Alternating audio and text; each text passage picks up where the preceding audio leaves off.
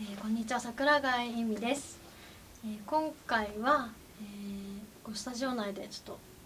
撮らせていただいたんですけど、え今後は皆さんの前で道場で直接、え歌を聴かせたら聴かせられたらいいなと思います。応援よろしくお願いします。ありがとうございます。